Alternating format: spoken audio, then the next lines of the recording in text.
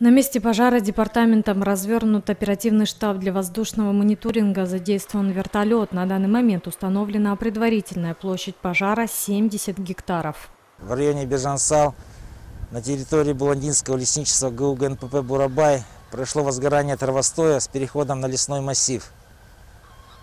В ликвидации возгорания принимает участие личный состав ГУ службы по разрушению аварийно-спасательных работ ДЧС Акмолинской области количестве 5 единиц пожарной техники, 30 человек личного состава. ГУ ГНПП «Бурабай» 5 единиц пожарной техники, 3 единицы спецтехники вспомогательной, порядка 50 человек личного состава. Локализация возгорания составила 5 часов 40 минут.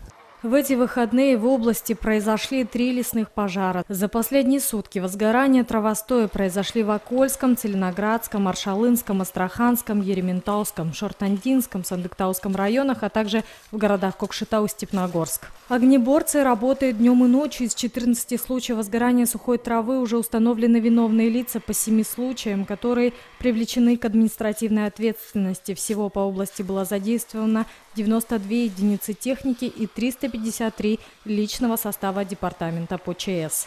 Зарина Дюсюкеева, Ерсейн Койшибаев, Жамбыл Балтаев, Кокшах Парад.